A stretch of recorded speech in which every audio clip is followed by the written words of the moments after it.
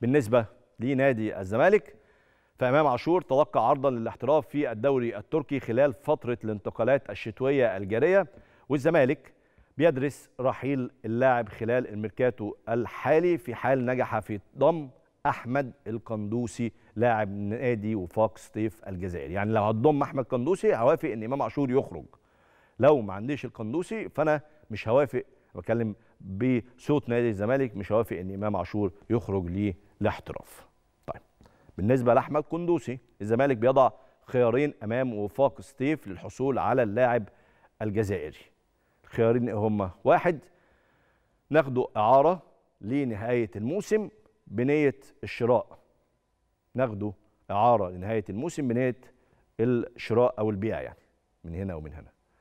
الخيار الثاني إنه الزمالك ياخده بيع وشراء ياخد اللاعب بشكل نهائي ولكن تقسيط أو الزمالك بيشترط تقسيط قيمة الشراء.